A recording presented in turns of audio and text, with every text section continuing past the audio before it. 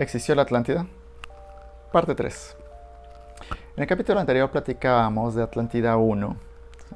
La Atlántida 1 fue una civilización que en aquel, en aquel entonces el planeta tenía una distribución ligeramente diferente a, a cómo la conocemos hoy. Los continentes eran un poquito diferentes.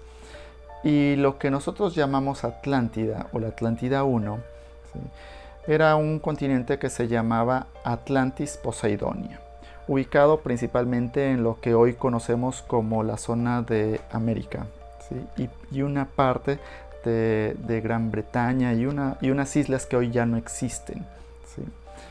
Eso es lo que podríamos decir Atlántida 1. Sin embargo, el, el planeta tenía otras regiones, otros continentes que también estaban habitados por otras civilizaciones un poco más este, menos avanzadas que, Atlántida.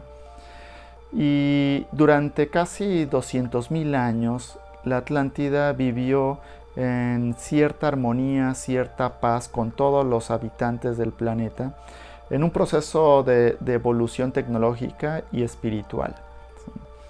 Sin embargo, más o menos después de unos 200.000 años empezaron a haber algunos conflictos hacia el interior de la Atlántida en donde algunos grupos, grupos de interés, intentaban expandir los límites de, Atlántida.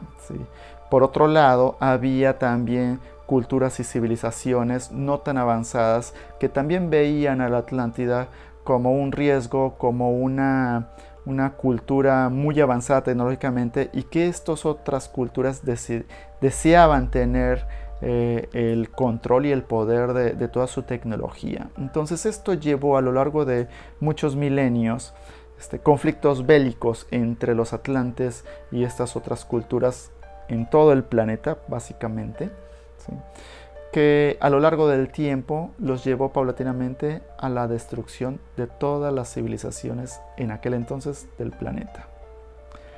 Si quieres saber un poco más, nos vemos en la siguiente parte.